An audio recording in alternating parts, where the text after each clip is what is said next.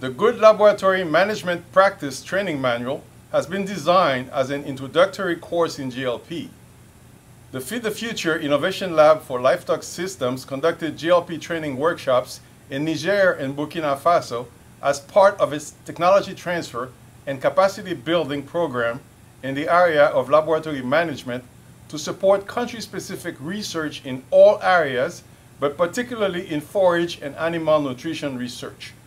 The participants of all these workshops expressed the need for additional training. The training has been compiled by myself, Richard Fethiere, based on the materials that were used in the actual workshops. This training manual will serve as a tool for training and promoting GLP concepts in the laboratories that support livestock research. The training can be done individually or as a cohesive curriculum as well as range from two to three days to a week-long training. Trainers can select specific lessons to build, enhance certain skills, or use the entire curriculum as a week-long training or a continuing education course. The lessons are arranged in a suggested order as some build on the skills developed during previous lessons.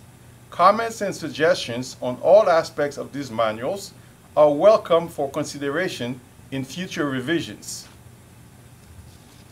The main goal of this training is to promote good lab practices. It's also to ensure quality and validity of test data in all the laboratories.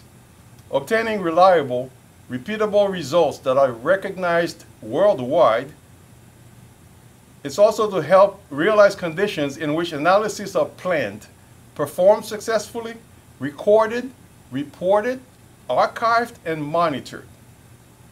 They also help conditions in which laboratories function in a safe and environmentally conscious manner.